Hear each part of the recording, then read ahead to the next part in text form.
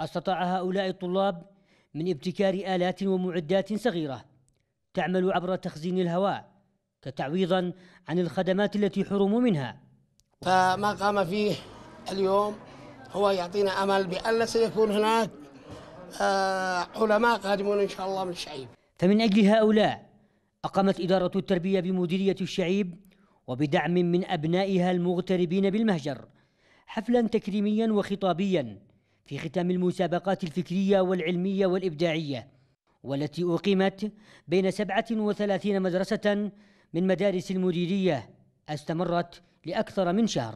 عملنا على فريق متكامل من خلال لجان إشرافية، لجان التحكيم، آه، لجان الرقابة، لجان التنظيم ولجان المالية. اهتمام من قبل المعلمين وإدارات المدارس لإعادة العملية التربوية إلى مسارها الصحيح، محاربة الغش وكذلك الألفة والتقارب والتعارف فيما بين جميع مدارس الشعيب. وفي ختام الحفل كرم مدير مكتب التربية بالضالع المعلمين والطلاب المبدعين من مختلف المدارس كما تم تكريم مدرسة الشهيد العبادي ومنحها لقب المدرسة النموذجية على مستوى المديرية هذا التكريم يسهم بشكل كبير في تشجيع الطلاب المبدعين على تطبيق ابتكاراتهم على أرض الواقع بما يخدم وطنهم ويساعدهم على تقدمهم في جميع المجالات.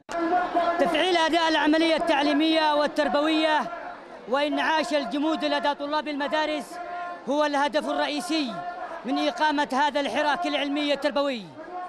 محمد المريسي قناة بلقيس من مديرية الشعيب محافظة الضالع.